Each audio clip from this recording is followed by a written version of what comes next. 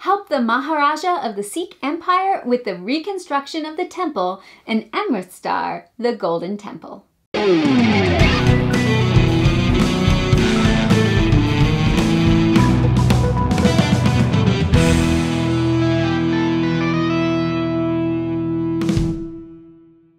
Thank you for joining us at Tantrum House Studio D. I'm Melissa Delp. And I'm Kevin Delp. Amritsar is a Mancala-like action selection game for one to four players that takes about one and a half hours to two hours to play. It's designed by David Harris Pino and published by Ludonova. Now the publisher provided us with this copy for review.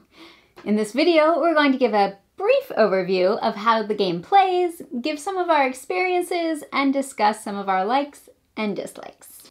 The game comes with a main game board, player boards, cardboard tiles, and wooden components. Here's a quick overview of the game structure. The game plays over three decades with four rounds in each, so each player will take 12 turns during the game. After the third decade, there's final scoring, and the player with the most points wins. On your turn, you have the opportunity to move your elephant, and then you choose one group of workers to move.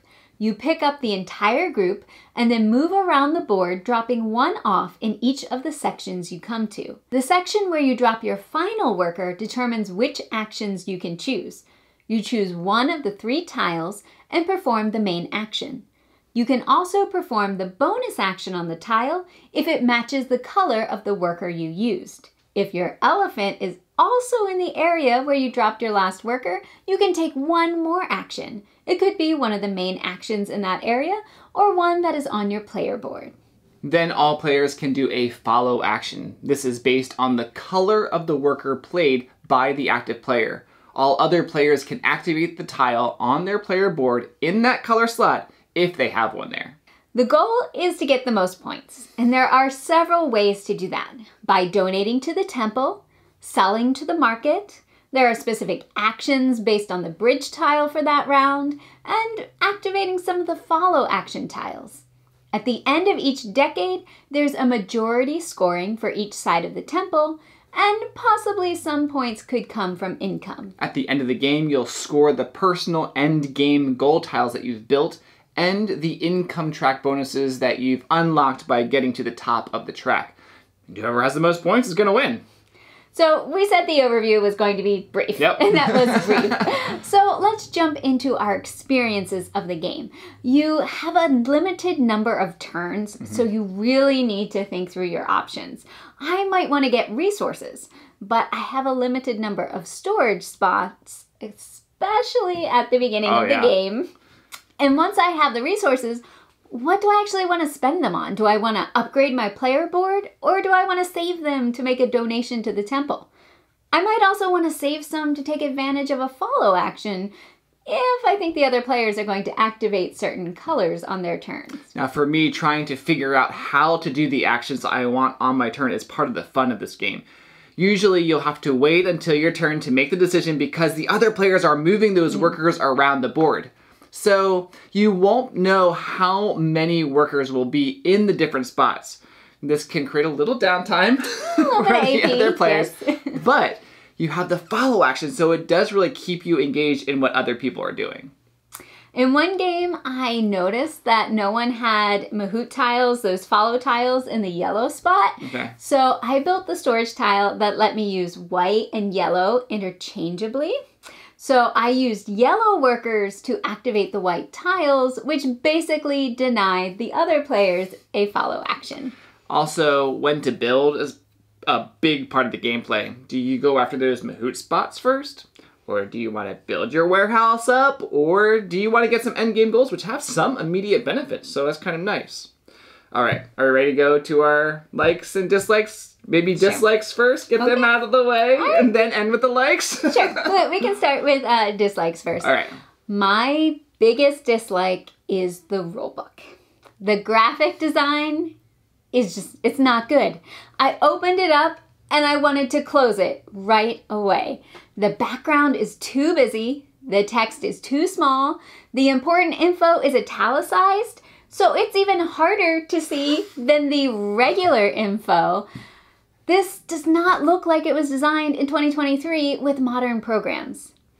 Now, I had the same issue with Sabika, which Mm-hmm. was also um, by Ludonova. So they really need to work on this aspect Mm. Okay. if they want their games to be welcoming and easy to play. This game is not difficult, I agree. but I almost shelved it based purely on the presentation of the rulebook. My interest in the Mancala aspect of the game and the ability to watch a how to play video that was already uploaded, Yep. that overcame my abhorrence of the rulebook. Wow. Uh, that's a pretty strong reaction from you, Melissa. I know. ah, the, the rulebook design obscures a fun, interesting game. I actually get a little annoyed and irritated every time I think about this rulebook because there's no reason to make it harder for people to learn and enjoy a game. you might make it easy, right? Right. Yeah. And there are tools, there are programs, there are professionals that can help with the design. No. Yeah, I, that's what I feel about the robot. I appreciate that. I had a little bit of a negative um, reaction when I saw the main game board initially. Uh, there's parts that seem like out of focus. Uh, they're not like clean and crisp. But I will admit, after playing the game, that really didn't bother me because there's a lot of pieces on the board and all the art is just part of the background.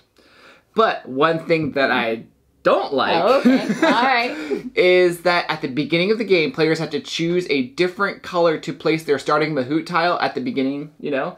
And there are definitely certain colors that get activated more than others.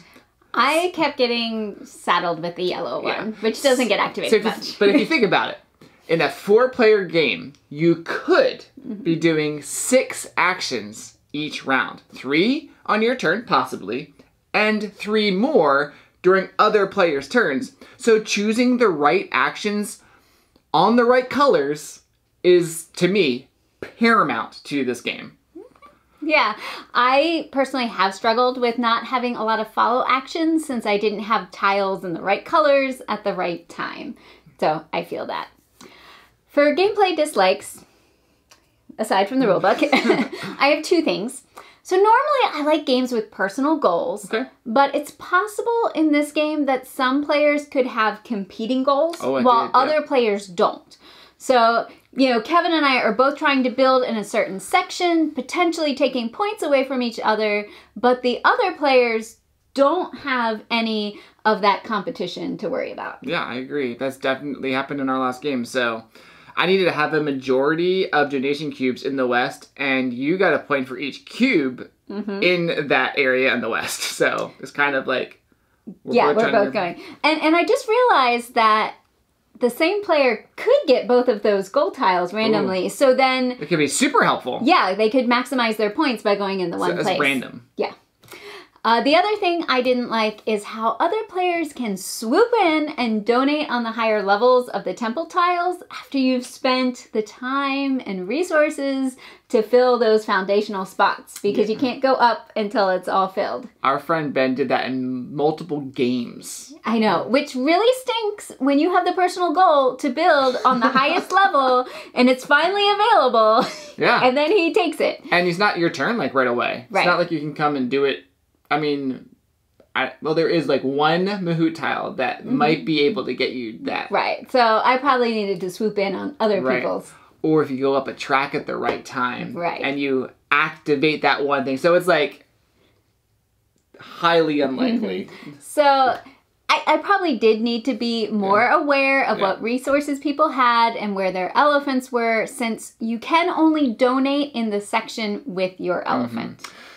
I wish you got points for reaching the top of the income tracks during the game instead of just at the end of the game. I I got there pretty quickly on one of the games on like multiple spots, and I actually didn't know because I wasn't like.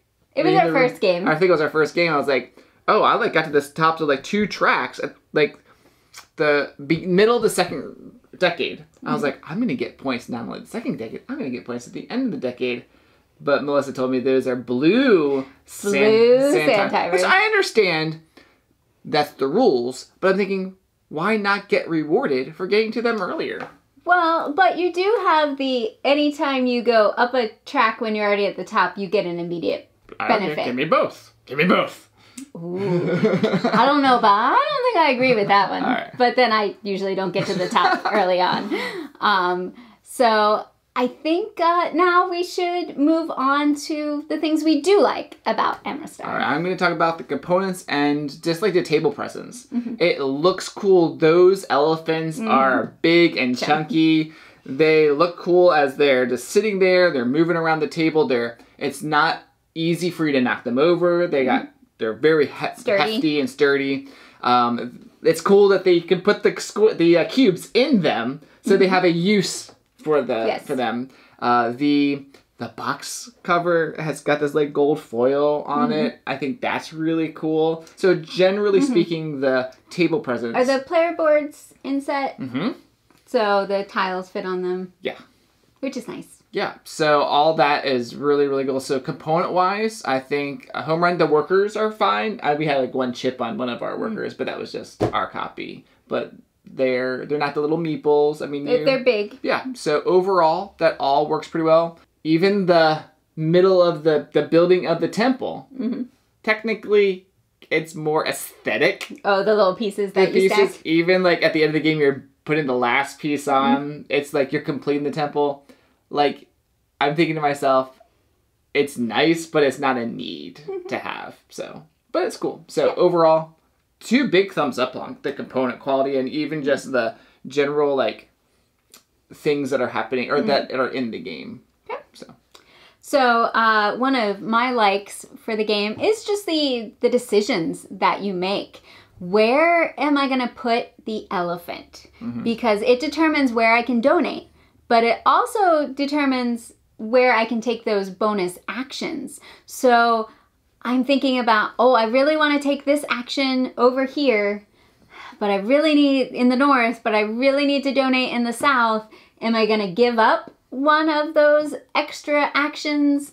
Or do I not care about donating there at this point in time? Another big decision is what to put onto your player board. Not only the decision of am I doing the Mahout follow actions or the storage or the end game goals, but which ones? Because there are a lot of variety in the storage um, aspects. So, you know, am I getting more spots? Am I trying to get a one time bonus? Am I getting an ongoing action? There are lots of those Mahout tiles. Which ones do I put not going to use there? them all in a given game. Right. Yeah. There's only four ish, four or five slots. There's like four. There's four colors. Four colors, four Yep. slots. so picking and choosing how to upgrade your board is very interesting to me, and it will vary from game to game depending on the setup and what's going on. Now, I like the ability to anticipate what other players might do. Like, will they let me activate a tile that's on my board so I can make a donation to the temple so I don't have to waste my actions when it's my mm-hmm. turn? Like, I'm really thinking about that kind of thing. I enjoy that because I'm like, I think Melissa's gonna want to take a this type of action that's gonna activate my white or or blue or whatever that has the tile that lets me donate. So I'm thinking I can do other things on my turn, so I can you know progress in the game, and then she lets you know I my elephant's in the spot I want, so I'm just gonna be able to donate with the get make sure I have the resources, so I'm really good to go. Yeah, I I struggle in that the anticipation aspect of it. Um, what I do really like is the Mancala aspect Ah, of yes. the game. So Five Tribes is one of my favorite games, especially um, older games. Yes, I, call really love. classic at this Yeah, point. classic. Picking up the meeples and putting them different Mm-hmm. places. So I was really intrigued when I heard that this also had a Mancala aspect. Yep. I do like that uh, there is some ways to mitigate what happens because you can spend coins to skip sections. Yep. So especially If you have the coins, if you have the coins, uh, especially if you have uh, if you're going later in the turn order, you don't know right? what's going to happen. Yeah. So I, I like that aspect of it. I also like that there are some storage tiles that let you use different colors interchangeably. So Oh. that gives you more um, Versi- yeah, versatility. yeah, That's the word I'm looking yeah, for. versatility. It gives you more versatility. I will say that like Five Tribes, and I think Kevin already mentioned, it, you can get a little AP though, trying to plan everything Mm-hmm. Out yeah. and.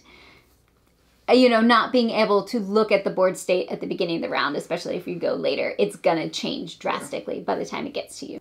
I really like the different tracks. There's four tracks that you're going.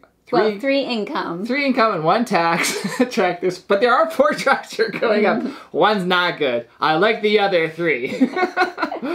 um, they're all giving you benefits as you go up. Most of them are giving you immediate like things you're doing, like getting money, getting resources. The far left one is giving you sort of like actions that you're uh, able to get, like you're able to take a Mahout tile action, like any one that you have. So hopefully you're doing that at the right time.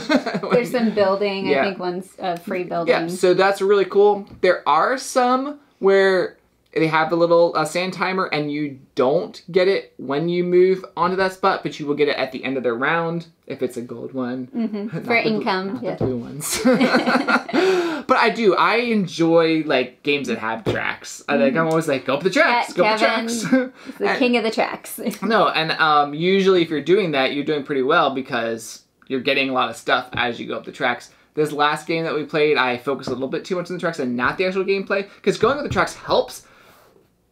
But in this game, you're trying to get points. So, like, getting points or going up the tracks may not get you more points. So, you gotta just be aware of that. So, um, there is actually one of the Mahout tiles that lets you go up any track, and that can be really powerful. Um, Because it's a follow action that you. yeah, it's a follow action if you can put it in the right color and it gets activated throughout the game. Because if you put it in the wrong color and it never gets activated, then it's kind of pointless. So that helped really on the first, really good for me on the first game. The second game, it didn't get activated as often. Mm-hmm. Yeah, that one is kind of expensive though That's because true. it increases your tax level by two, and you have to pay those at the end of each decade. Yeah. So I another thing that I like is the asymmetry. Mm-hmm. Asymmetry. Or, or as- asymmetry. I've heard it both ways. anyway, as you are upgrading your board and placing different Mahout tiles and different storage tiles, you're basically div- like going down divergent paths of strategies because of the way you have built your player board and the different follow actions that you have decided to activate. So I like that it kind of everyone's maybe not doing the exact same thing because they can get certain actions different ways or they get benefits by doing something else. So kind of diversify. Yeah, I mean, it. there was one game I hardly moved my elephant. I didn't need to. I just was able to do things that I wanted to at the spot I was at the whole game. Yeah, and that was like Because set up. Sometimes they're really good actions, and Right. then other times it's like, oh, I really want to take a build action here, but there's no resources there, so it's hard to Mm-hmm. Yeah. get them all together. But. I built my my game that way, so it was just like it mm-hmm. worked out pretty good. All right, we ready for final thoughts? sure. Final All right, thoughts. final thoughts, Melissa. You go first. So this game was simpler than I anticipated from looking at that rule book. Bringing it back and, up and- again. And the components. there are only a few main actions, and they're basically coded to a certain color. Mm. So, like, blue tiles are getting you resources, and green tiles, you're building upgrades on your player board, or you're activating your Mm. Mahout tiles. The white tiles are going up the income tracks, and then the yellow is letting you get money and perform market actions, which tends, I think, to get activated more later in the game. At Oh, least our games. For our games, it's definitely because you're you could get a lot of points if you do it properly. Yeah. So, Yes. So trying to optimize your turns Mm-hmm. is kind of the where the difficulty comes in as you're trying to get as many actions or benefits as possible. So I, I personally I enjoyed playing this game. Mm-hmm. It doesn't surpass five tribes for me. And we actually just played five tribes, so I can kind of compare like them. literally today. Yes. We just played it, so we have a um, really good comparison. Mm-hmm. So for the Mancala aspect, it doesn't surpass five tribes for me. But I would gladly play Amistrar if someone suggested Amritsar. it. Amritsar. I can speak, sure. Mm-hmm. um, but I definitely do recommend watching a how to play video to get the basics instead of struggling through the rulebook. After spending some time like really ruminating about what I thought about this game, mm-hmm. we play we play a lot of games. Mm-hmm. We play a lot of games. I decided this one's just okay. I, I think I would choose a lot of other games to play instead of this one. Like what I mean is, if someone says, Kevin, what do you want to play? And we you know, we play a lot of games, but we play a lot of new games. And there's sometimes those new games you're like, I really want to play that one mm-hmm. again. so I, I'm like trying to like, there's not there's a lot to explore in this game. There is, but I just feel like it's good. It's okay. Like, but like you said, if someone asked you, do you want to play Amritsar? Mm-hmm. I'd be like, sure, it's fine. I I would enjoy I would enjoy playing it. So it probably won't be in my top ten this year, but it may be others, and I'm okay with that. Okay. Yeah, well, thanks for watching. Uh, please like and subscribe and let us know in the comments what's your favorite Mancala game, a game that uses the Mancala mechanism. Mancala. It's just pronunciation day. No, no, no, no. I was saying the game they're gonna choose. Oh, is Mancala. Thought it was my pronunciation again. no, I was saying they're gonna choose Mancala. Definitely put Mancala in the comments. Five tribes.